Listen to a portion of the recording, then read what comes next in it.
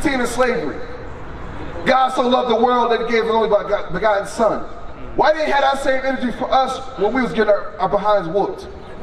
Bring it You see what up. I'm saying? The way you thinking the white man didn't care about you in slavery?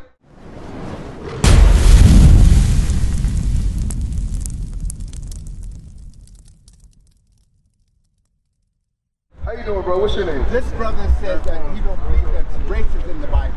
No, I didn't. Give me Tobin, Tobin again. What you got? What I said was, What's your okay, name? race, race could be in the Bible. I Uh-huh. don't think race exists in others.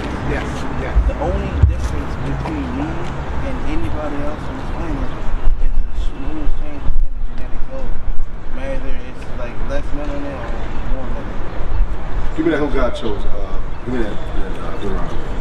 So he said the only cha- only difference between you and any other race is DNA. Okay, got you. Let's find out how. Because you're right. You are very right. Genetics, right? That's that's what changes us, right?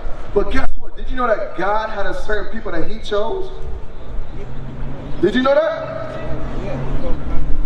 Right. So, knowing that, that proves right there that guess what? Race does matter. It matters to God. It may not matter to you, but God said He chose certain people over others. Read that for me. You know what I want? I got oh, to. Read that. Leave without me. The book of Deuteronomy, chapter 7, verse 6. For thou art an holy people unto the Lord thy God. The Lord thy God hath chosen thee. Wow, God made everybody. He made everybody's genetic code and DNA, like you said. God made those people. God made you the person you are. But God still said this from the top. For the for thou art an holy people unto the Lord thy God. The Lord thy God hath chosen thee to be a special people Uh, uh, uh, special, different. Read, what else? What else? unto himself above all people that are upon the face of the earth. No, equal to all people. Above all people. No difference between all people. Above all people. Same status quo, same rate, all, all that garbage. What he said. Above all people. So, my brother, look at this sign right here. I gotta, I gotta show you this. The people on this sign, God said they are above all people. Do you have a problem with that? You got a problem? Because God said it. I'm just reading it. Bring it out. Okay, my only thing, Joel too. right, trying to unify the minds, you know, No, of back the to world, Genesis. not just in a certain location. You know what Unify. Say it again. Unify I mean? what? You trying to unify the minds of the world. You know? Who's trying to unify the minds of the world? Is Who? it this? Is it this what y'all trying to do? Is No. y'all trying to unify the people you know? No. This is our, what's what we trying to do right here. Come on, read. This is the book of Deuteronomy, chapter 32, verse 8. When the Most High divided to the nations their inheritance, when he separated the sons of Adam, God did what? separated the sons of Adam, Did God try to unify everybody's mind? separated the sons of Adam, Did God try to bring all nations together? separated the sons of Adam. In the beginning is Genesis.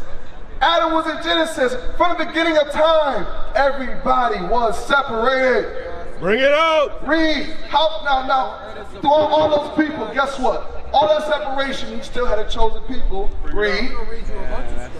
He set the bounds of the people according to the number of the children of Israel. The children of who? Children of Israel. So guess what? We had our part first.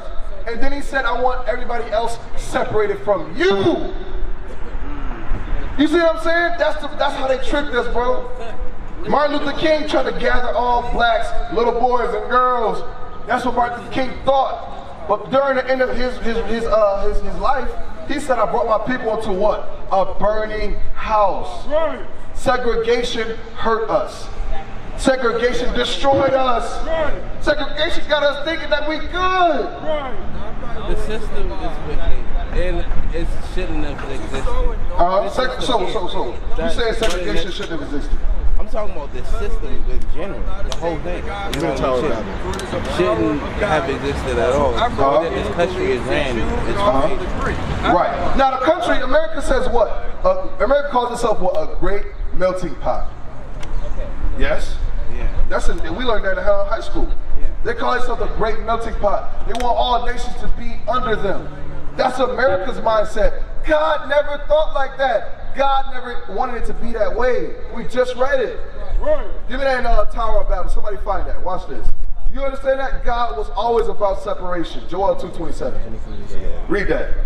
It's the book of Joel, chapter 2, verse 27. Hey, with the mindset you got, guess what? The white man taught you that. But where was that same mindset in slavery, bro?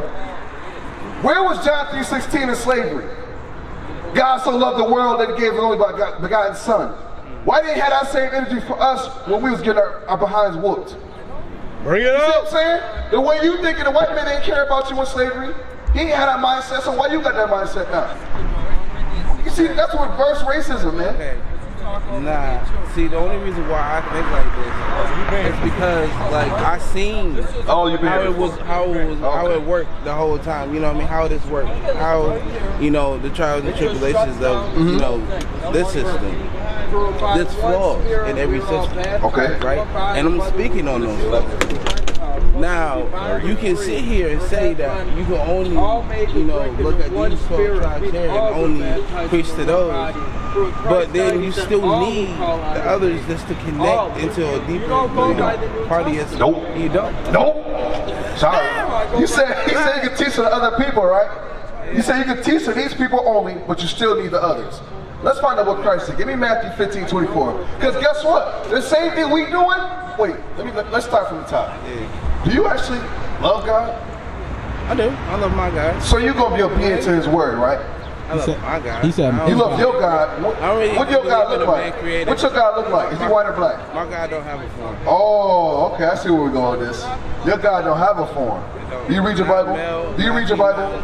Do you read the Bible? No, I don't believe in a man created um, being at all. I believe that there's someone up there, but nah, I'm not putting a title to it. You know what, bro? I'm gonna help you. The man that you believe is this man right here. This is who you believe right here. That ideology you got, bro, you learned that in some school or some pastor don't taught you that, but this image is in your head. Right. Because the God of the Bible said to separate from all nations. You said otherwise. Give me Matthew 15, 24. Let's find out. He said that you can teach you can teach raised to in all only these people, but you still need the other people to unite everyone. Christ didn't think like that. Read. Look at my middle name. It's the book of Matthew, chapter 15, verse 24. But he answered and said, I am not sent, but unto the lost sheep of the house of Israel. Who's speaking? Colors are red or what? If the colors aren't red, who is it? Who is it coming from? Let me ask you. This It's coming from Christ's own mouth. This is Christ speaking. Let's find out who Christ taught. Come on, read again from the top of the brother. It's the book of Matthew, chapter 15, verse 24. But he answered and said, I am not sent, but unto the lost sheep of the house of Israel. Was Christ sent to all nations? The house of Israel. Whites, House of Israel. Japanese, House of Israel. teach the Chinese. House of Israel. So that's who Christ taught. That's what we gonna do. If you can't accept that, you don't love God. Bring Our it people say they're Christian all the time. But when the real Christian get the Bible, they hate it. What is a nation? Nation is family. Nation is community. Nation is men leading by example. Nation is women's support. Nation is children with role models. Nation is unity. Nation